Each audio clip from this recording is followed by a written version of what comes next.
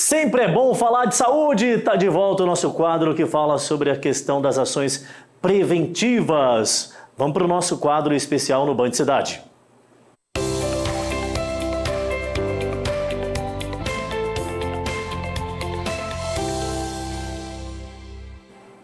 E falando em saúde, nós temos uma parceria com os profissionais do Complexo Hospitalar Central e é para lá que a gente vai neste exato momento conectar aqui com o Dr. João Júnior. Ele é cirurgião vascular e endovascular. Doutor, tudo bem? Boa tarde, bem-vindo aqui ao nosso Band Cidade. Boa tarde, tudo bem, meu amigo? Tudo bem ao nosso grande amigo, você o nosso grande repórter e aos telespectadores, tudo bem? Boa tarde a todos. Certo. Doutor, é, eu queria falar sobre o tratamento é, oxigenoterapia hiperbárica. O que vem a ser? Explica para nós.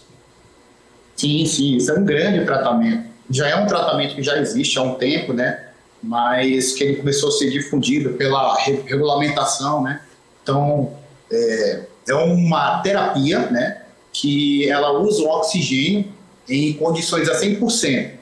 Só que a, é, o paciente ele chega a entrar dentro de uma câmera, né, ou de uma maca, né, que uma essa que a gente consegue ver é a monoplace. E o paciente dentro dessa câmera ele é submetido, submetido a condições de atmosfera, no caso do, do 2 a 2,5, ou seja, ele chega como se fosse a 15 metros no fundo do mar. É uma compressão e descompressão, ou seja, quando ele entra na, na terapia, ele entra na compressão. Então, essa compressão, junto com esse oxigênio a 100%, você tem uma maior oxigenação dos tecidos. Isso é a terapia hiperbárica. Mas uma coisa importante a gente falar a respeito, que a terapia hiperbárica, ela não substitui nenhum tratamento. Ela é um grande adjuvante e ajuda a melhorar os tratamentos. Perfeito. Doutor, para ficar bem mais claro para nós, a gente está falando de um tratamento especificamente de quê, propriamente?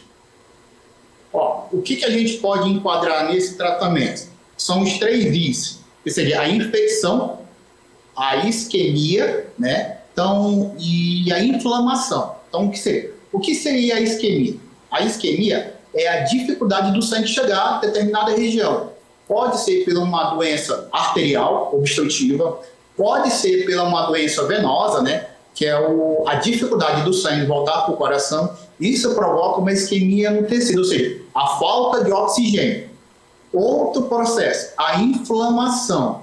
A inflamação também é prejudicial. Então, assim, em processos inflamatórios provocados por doenças autoimunes, como os vasculites, né, inflamação de pequenos vasos, ou outros processos inflamatórios, porque a inflamação ela anda junto com a infecção. Então, doenças infecciosas que tem uma inflamação exacerbada, ele também tem uma boa ajuda. E o processo infeccioso, né? Que além do uso dos antibióticos, ele potencializa esses antibióticos e ele consegue oxigenar aonde na em conversões normais, que é o, o oxigênio que nós temos a 21% no ar ambiente, em condições é, ao nível do mar, ele consegue ir a lugares além dessa oxigenação, quando o paciente está na compressão pela oxigenação a 100%. Então, a gente tem uma melhor resposta do processo infeccioso também. Doutor, essa questão também trata a parte estética, porque temos um grande problema. É claro que tudo está envolvendo é, a qualidade de vida, a saúde das pessoas, mas esteticamente também as pessoas sentem muita necessidade de, de algum tipo de tratamento. Engloba também essa parte? Olha, no Brasil é, já existem estudos, né, americanos, europeus, sobre essa questão da hiperbárica na parte da estética. Mas no Brasil, segundo o nosso Conselho Federal de Medicina, ela não foi aprovada e nós temos poucos estudos que possam falar sobre isso. Então isso é uma, pode ser que sabe no futuro ela comece a avançar também nessa área da estética. Tem algum tipo de contraindicação esse tratamento, doutor? Sim, existe contraindicação. O, o que seria essas condições de contraindicação? Como a gente falou de oxigênio, né? Então, quando o paciente é submetido a uma condição de compressão, ele tem uma alteração sobre a questão de expansão dos gases, compressão dos gases. Então, assim, paciente com um histórico de pneumotórax, que ele tem um pneumotórax, que em algumas situações clínicas não foi tratado, mas tem um pneumotórax pequeno, O que é a pneumota? É o ar no espaço pleural, né? entre aparelho torácico e os pulmões. Outras situações, o paciente tem problema na tuba auditiva, do ouvido, na parte interna, que ele possa ter algum problema ali de equalização de pressões, às vezes do glaucoma, de ângulo fechado, que também possa provocar, ele tem uma contraindicação. E algum quimioterápico na terapia de oncológica também possa ter algumas complicações, possa ter mais contraindicações. Doutor, esse método que o senhor está apresentando para nós hoje aqui, ele é relativamente novo, já, já existe há algum tempo, ele, ele, substitui processos cirúrgicos? Como é que é que se dá o entendimento como um todo dessa, desse método? Não, mas esse método ele é um método adjuvante. O que é isso? O que é esse método adjuvante? Ele auxilia no tratamento de certas doenças, né? Como feridas, por exemplo. Um paciente submetido a uma cirurgia plástica, que às vezes, dependendo das condições do organismo, ele tem uma reação inflamatória, acontece uma infecção, esse aparelho vai ajudar nessa fase de cicatrização.